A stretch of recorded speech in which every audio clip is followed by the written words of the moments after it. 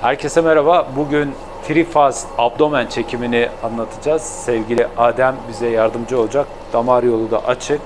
Burada damar yolunun açık olması lazım. Adem e, radyoloji ikinci sınıf öğrencisi e, bize bu konuda yardımcı oluyor. Biraz titriyor. Titremesinin sebebi aslında buranın soğuk olması. Yoksa Adem heyecan heyecan yok değil mi? Yok. Heyecan yok ama ortam soğuk. Onun için hemen yatırıyoruz. Nasıl alacağız içeri? Tabii ya arka tarafta da Sermet gülüyor. Birazdan onu da çekim yapacağız. Eller başta e, ne giriyor? Hit first. Yani hit first giriyor. Bu önemli yani çekim protokolünde. Evet, baş içeri girdiği şeyde. Şimdi ışını gösterelim. Santralizasyon. Hemen santralizasyona baktığımız zaman abdomen olduğu için hemen göğüs kafesinin altına ne yapıyoruz? Yerleştiriyoruz. Bu şekilde hastanın planlamasını yaptık. Şimdi kontrast maddenin bağlanmasına geçelim. Kontrast madde direkt olarak. Şimdi kontrast maddeyi hemen çekeceğiz. Direkt olarak şimdi kontrast madde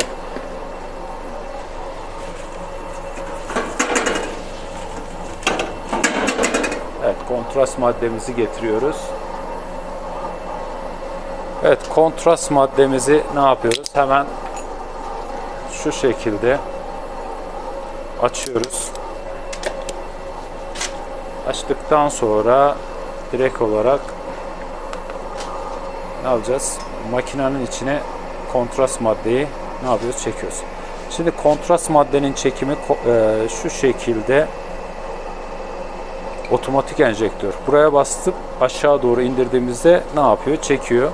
Bu bittikten sonra bu direkt olarak bağlantıyı sağlıyor. Sonra ara line'la bağlantı yapıyoruz.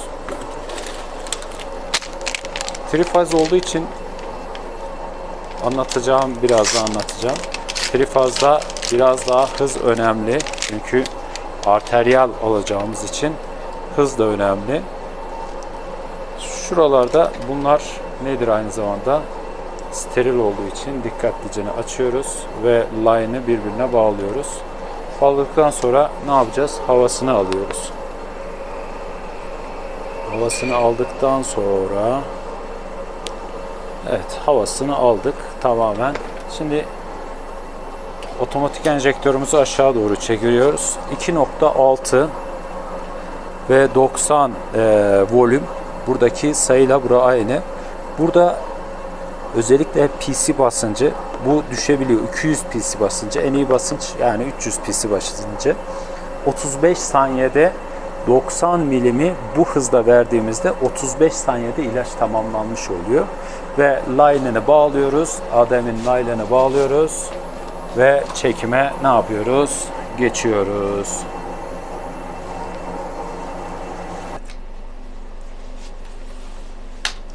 Şimdi e, Adem'in bağlantılarını yaptık tabii ki.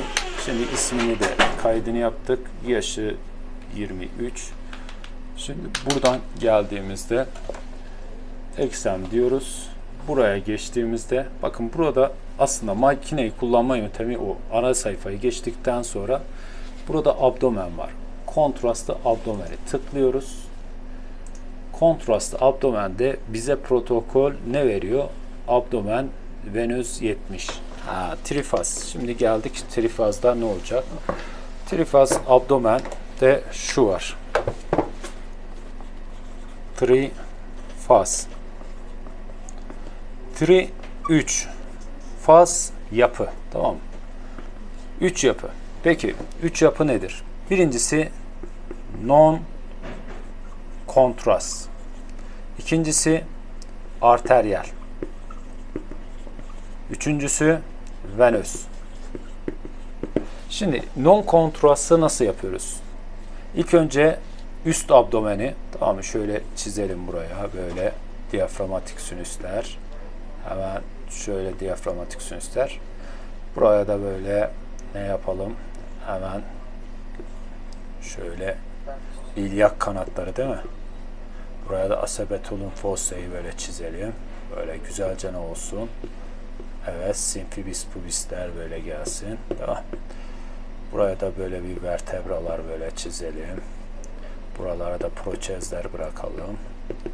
Karaciğer ne yapıyor? Buraya kadar iniyor. Buralarda da ne yapalım? Böbrekler. Evet. Üst abdomeni hemen kalemimizi de değiştirelim. Ne yapacağız? İlk önce üst abdomeni non kontrast. Aslında şurayı ne yapacağız? Non kontrast. Kontrastsız. Kontrastsız alıyoruz. Bu kontrast vermeden almış olduğumuz ilk faz birinci faz. Non kontrast. Non kontrast. Birinci faz kontrastsız. İkinci faz geliyor arteriyel. Arteriyelde de genelde ne yapıyoruz? Yine abdominal kısmını alıyoruz. Üst abdomeni. Üst abdomen. Üst abdomen. Üst abdomenin içinde ne olacak? Karaciğer. Ne olacak? Mide. Bir de ne var? Böbrekler.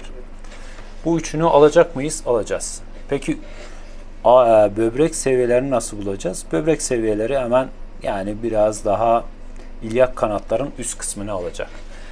Üst abdomeni kaçıncı dakika alacağız? 25. saniye.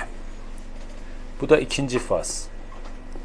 Şimdi geldik üçüncü faza. Üçüncü faza geldiğimizde tüm batını tarayacağız. Ta ki simfibis pubis'in altına kadar. Bu ne olacak? Venöz faz olacak. Bu ne oluyor? Üçüncü faz. Venöz faz ne oluyor? Venöz faz ne olacak? 70. saniye. Şimdi 70. saniye venöz faz. Oldu da karaciğerde lezyon gördük. Yani şimdi şöyle bir bakalım hemen bir tane batın. Evet hemen. Şöyle gösterelim. Şimdi batına baktık. Bu non kontrast. Yani bu kontrastsız. Kontrastsız dokulara bakıyoruz ve kontrastsız. Bu birinci faz. Kontrastsız almış olduğumuz yapı. Burada karaciğerde bir lezyon varsa yoksa evet şimdi gördük hemen var mı? Bir tane burada bir lezyon. Bir tane buralarda. Evet bu birinci fazda ne yapıyoruz? Lezyonun şeyini görüyoruz. Ondan sonra ikinci fazda baktığımız zaman hemen venöz faza bakalım. Venöz fazda da bakın bu da kontrastı venöz faz. Bu başka bir hasta. Baktığımız zaman bakın ilaç böbrekler zayıf olduğu için çok güzel ne yapıyor? Parlıyor 70. saniye. Arteriyel görüntümüz yok ama sonuç itibariyle anlatıyoruz. Bu da venöz faz. Yani venöz. Peki oldu karaciğer. Eğer bu az önceki hastada dediğimiz gibi şundaki gibi. Bunda 3 boyutlu bir faz çalışıyorsak ne olacak? Bir kere bu şeyi gördüğümüz zaman lezyonu, karaciğerdeki şu lezyonu gördüksek ne olacak? 70. saniyeden sonra geç dönem var. Geç dönem. O da 3. dakika ya da 10. dakika. Tamam mı? Genelde hastalar çok beklemediği için, bekletmemek için, yoğun olduğu için 3. dakika alınıyor ve o kontrastlanmayı bırakıyor mu, bırakmıyor mu? Kaçıncı dakikadan sonra bırakıyor mu, bırakamıyor. Bazı yerlerde bu trifazı şöyle değerlendiriyorlar. Non kontrası saymıyorlar. Arteriyel, venöz ve geç dönem. O hocanın anlatımına göre. Ama faz, geç dönem faz olarak değerlendirilmez. O zaten venöz faz oluyor. Yani venözün geçmiş dönemi oluyor.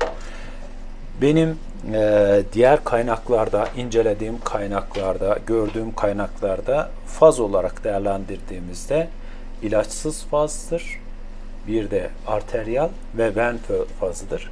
Ven fazı geç dönemde zaten ven fazına geçer. İlaçlar süzülerek içeri girmesini sağlar. Yani geç kalan dönemde aslında venöz fazı olarak değerlendirilir. Tabii ki hoca hangisini istiyorsa yani bazen derler işte ya geç hoca e, arteriyel venöz ve geç dönemi 3 faz olarak değerlendirenler de var. Ama genel olarak faz dediğimiz ilacın ilaç verilmemiş. Çünkü no kontrast bir fazdır. ilaçsızdır. Arteriyel verdiğinizde o zaman arteriyel faz 25. saniye hemen o şeyi boyar, arteriyel olarak boyamayı sağlar. Venözde de o geri dönüşümde sağlar. Ee, geç dönem daha o kalan kitlenin ilaçlarını bırakıp bırakmadığını değerlendirmek içindir. Yani bu e, eğer geç dönemi de bir faz olarak e, değerlendirirse o zaman quart farz olması lazım. Bu tri nedir? E, aslında bu biraz Latince kelimedir. Tri. E, quart olması lazım. Dört e, olması lazım. Ama size bağlı bir şey.